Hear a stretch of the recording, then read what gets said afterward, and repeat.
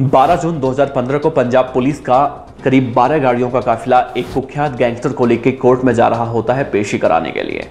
Police की गाड़ियों का काफिला कोर्ट पहुँचता है, उस गैंगस्टर की पेशी होती है। पेशी होने के बाद जब उस गैंगस्टर को वापस से जेल में शिफ्ट करने के लिए ये काफिला निकलता है और पंजाब के फगवाड़ा ज़िले के आसपास पहुँचता है। तो वहाँ पर अचानक दो गाड़ियाँ आती हैं, रुकती हैं, वो काफिले को रोकती हैं और उसमें करीब से सात से आठ बदमाश निकलते हैं। उनके सबके हाथों में बंदूकें होती हैं, राइफल होती हैं। सत्तर पुलिस वाले उस, जो काफिले में होते हैं, उन सभी पुलिस वालों को एक किनारे खड़ा करते हैं। वैन में जो गैंगस्टर बंद था, जिसकी कोर्ट में पेशी कराने के लिए पुलिस वाले लेकर जा रहे होते हैं उसको बाहर निकाला जाता है। बाहर निकालने के बाद उसको खड़ा करते हैं वो बदमाश और उसे इतनी गोलियाँ मारते हैं, इतनी गोलियाँ मारते हैं कि उसका पूरा शरीर छलनी हो जाता है। कहा जाता है कि इस दौरान उसे साठ गोलियाँ मारी गई थी। और इतना ही नहीं, साठ गोलियाँ मारने के बाद भी वो बदमाश उसकी लाश के पास भंगड़ा करते हैं। शायद वो जश्न मना रहे होते हैं कि इतने दिनों से हमने इसे जो मारने का सपना देखा था, वो सपना आज पूरा हो गया। नमस्कार, मेरा नाम है देवनाथ पांडे और आप देख रहे हैं बीडीएफ न्यूज़ की क्राइम सीरीज़ खलनायक, जिसमें हम आपको सुनाते हैं अपराध के दुनिया की खबरें। तो आज खलनायक सीरीज़ में हम जिस गैंगस्टर के बारे में बात कर रहे हैं, उसे पंजाब का मोस्ट हैंडसम गैंगस्टर कहा जाता है, जिसका नाम था सुखा कहलोन। तो क्यों सुखा कहलोन के इतने निर्मम तरीके से हत्या की गई थी? आखिर सुखा कहलोन कौन कौन था, उसे मारने वाले लोग कौन थे और क्यों उसे इतनी बेरहमी से मारा गया था, उसकी लाश के पास भंगड़ा किया गया था, बताएँगे आज इस वीडियो में विस्तार से एक करके। लेकिन जैसे जैसे आप सुखा कहलोन की कहानी सुनते जाएँगे, आप ये जानते हुए भी कि वो गैंगस्टर था, उसके बाद भी सुखा कहलोन के बारे में और भी जानना चाहेंगे। हालाँकि हम यहाँ पर किसी भी गैंगस्टर को प्रमोट नहीं करते हैं, ना ही किसी तरह के अपराध को बढ़ावा देने को कहते हैं आप लोगों से, बल्कि हमारा वो मैसेज वही होता है कि गैंगस्टर बनना कहीं ना कहीं बहुत ज़्यादा ही दुखद होता है पूरे परिवार के लिए, लेकिन फिर भी गैंगस्टर था तो उसकी कहानी सुनानी भी ज़रूरी होती है। तो सुखा कहलोन, पंजाब का एक ऐसा गैंगस्टर जिसका 2001 से लेकर 2015 तक ऐसा आतंक था कि किसी को एक भी फ़ोन आ जाता था कि मैं सुखा कहलोन बोल रहा हूँ। तो सामने वाला इतना डर जाता था कि सुखा कहलोन जो भी डिमांड करता था, उसकी हर डिमांड पूरी होती थी। सुखा कहलोन जब मरा, जब उसकी मौत हुई तब वो 28 साल का था। आप सोचिए 28 साल की उम्र में उसने 15 साल तो अपराध किया। सोचिए कब वो अपराध की दुनिया में आया होगा। दरअसल सुखा कहलोन शुरू से अपराधी नहीं बनना चाहता था। उसका सपना था कि वो अपने पिताजी, अपने माताजी और अपने भाई के साथ अमेरिका जाए, वहाँ पर जाकर वो पढ़ाई लिखाई करे और वहीं पर सेटल हो जाए। लेकिन उसका ये सपना पूरा नहीं होता, एक गलती की वजह से। दरअसल ये उस वक्त की बात है जब सुखा कहलोन दसवीं का छात्र था और कहा जाता है इस दौरान उसके गाँव में कोई छोटा मोटा झगड़ा हुआ था और इस झगड़े में सुखा कहलोन का भी नाम दर्ज हो गया था जब एफआईआर हुआ था। तो उसका नाम भी पुलिस थाने में एफआईआर में दर्ज हो जाता है, जिसकी वजह से उसका पासपोर्ट और वीज़ा नहीं लग पाता। जिसके बाद उसके पिता, माता, भाई सब लोग अमेरिका चले जाते हैं क्योंकि उन लोग का सब कुछ कंप्लीट हो चुका होता है। तो अब सुखा को उसे उसकी मौसी के पास छोड़ दिया जाता है, जो कि कपूरथला के कहलवा गाँव में रहती हैं। और वहाँ पर सुखा जाता है, अब वहीं पर रहकर अपना पढ़ाई लिखाई करता है। लेकिन इस दौरान एक चीज़ हमें देखने को मिलती है, जब बच्चे अपने माँ बाप के साथ नहीं रहते हैं तो उन्हें शायद वो तालीम, वो संस्कार नहीं मिल पाता है जो उन्हें मिलना चाहिए। हालाँकि हम ऐसा दावे के साथ तो नहीं कह सकते, सबके लिए नहीं कह सकते, लेकिन सुखा कहलोन के लिए तो बिल्कुल कह सकते हैं। सुखा कहलोन अपने मौसी के साथ रहकर बहुत ही उसे आज़ादी मिलने लगी। वो कई तरह के लोगों को दोस्त बनाने लगा। उसमें लड़के भी थे, लड़कियाँ भी थी। और ऐसे ऐसे करते करते वो धीरे धीरे गलत संगत में पड़ता चला गया। अब जब वो गलत संगत में पढ़ रहा था तो उसे ये सब बहुत मज़ा आता है। वाकई में देखने को मिलता है, जब पढ़ने के अलावा कोई और काम कहा जाता है बच्चों को तो उनको मज़ा मज़ा भी बहुत आता है। सुखा कहलोन के साथ भी यही हुआ। लेकिन इन सब में अच्छी चीज़ ये रही कि सुखा कहलोन को एक लड़की से प्यार हुआ। और वो लड़की एक रिजॉर्ट मालिक की बेटी थी। अब वो लड़की भी सुखा से शादी करना चाहती थी।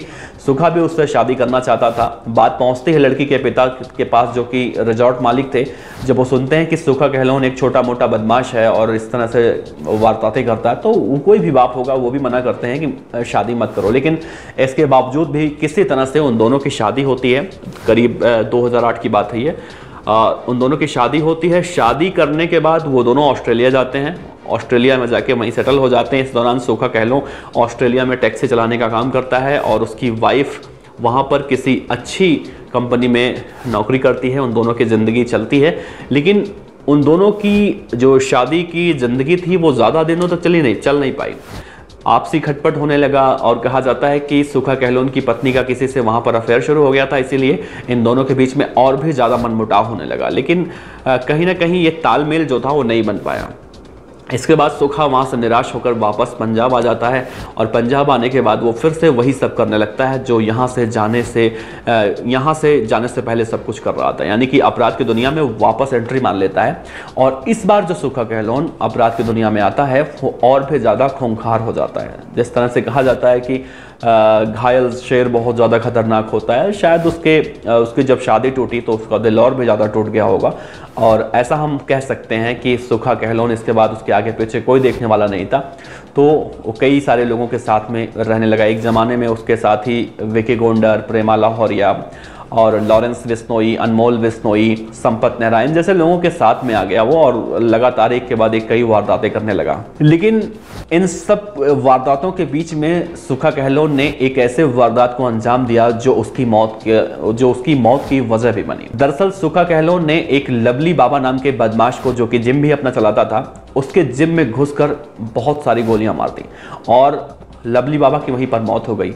लवली बाबा, प्रेमा लाहौरिया, सोनू बाबा और विकी गोंडर का काफ़ी करीबी था। अब इन तीनों के बीच इसी बात को लेकर विवाद हो गया। विकी गोंडर, प्रेमा लाहौरिया और सोनू बाबा, ये सब सुखा कहलोन के जौने दुश्मन बन गए। सुखा कहलोन अब वहाँ से निकल गया, फरार हो गया और वो किसी और राज्य में, यानी कि राजस्थान में चला गया। राजस्थान में जाके भी वो लूट, चोरी जैसी बड़ी बड़ी घटनाओं को अंजाम देने लगा। राजस्थान पुलिस से कई बार उसका सामना हुआ, पंजाब पुलिस उसे खोज ही रही थी।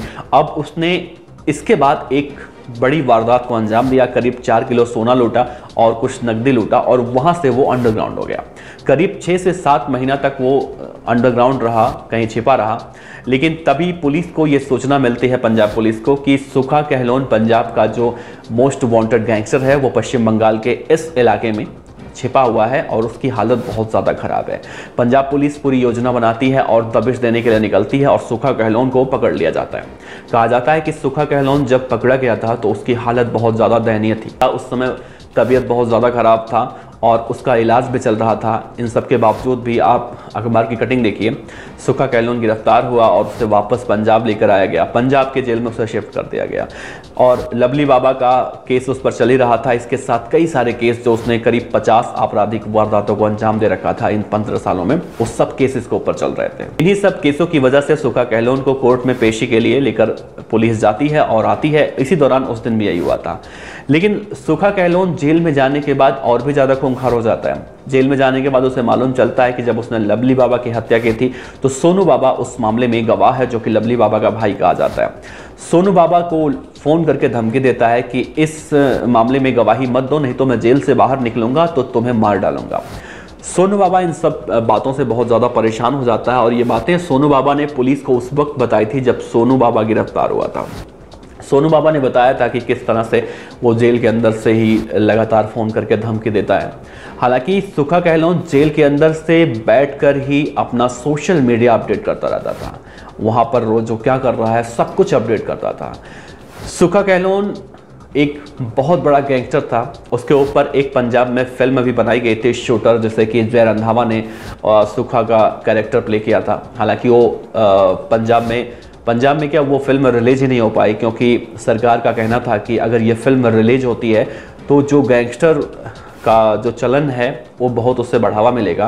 क्योंकि सुखा कहलोन को आज भी कहीं ना कहीं पंजाब की जो जनता है, ये जानते हुए भी हम सबको नहीं कह रहे हैं, लेकिन सोशल मीडिया पर आप जाएँगे, देखेंगे।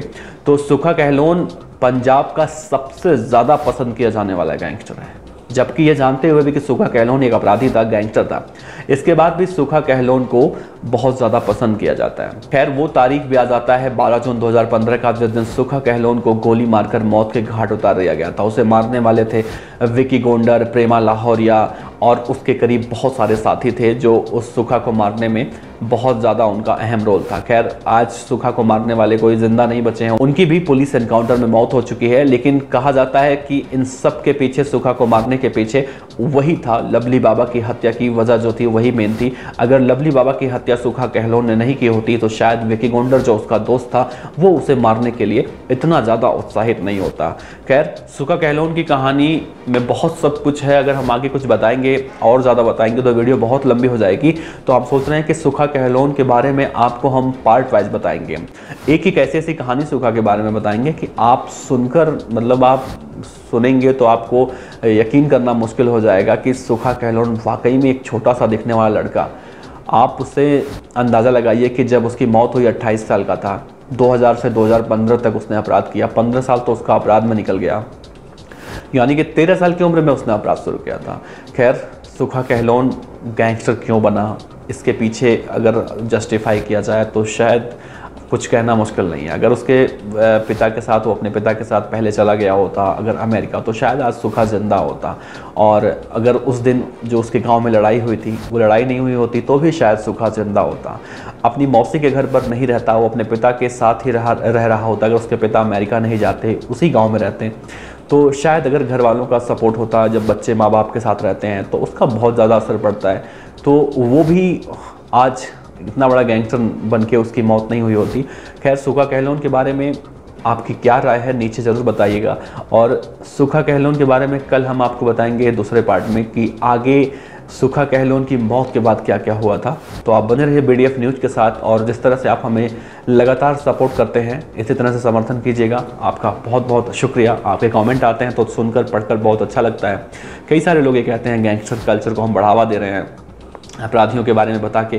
तो हम आपसे बिल्कुल कहते हैं, हम गैंगस्टर कल्चर को बढ़ावा नहीं दे रहे हैं, बल्कि हमारा उद्देश्य यही होता है कि इन अपराधियों के बारे में आप जानिए और अपराध करने का अंजाम क्या होता है वो भी जानिए, ताकि कोई भी अपराध ना करे। बाकी आप बने रहिए बीडीएफ न्यूज़ के साथ, अपना कीमती सुझाव, कीमती सलाह भी देते रहिए। आपका बहुत बहुत शुक्रिया। नमस्कार। खबर अच्छी लगी हो तो लाइक कीजिए सब्सक्राइब कीजिए। साथ ही बेल आइकन का बटन दबाइए। पीडीएफ न्यूज़ की खबरें सबसे पहले देखने के लिए।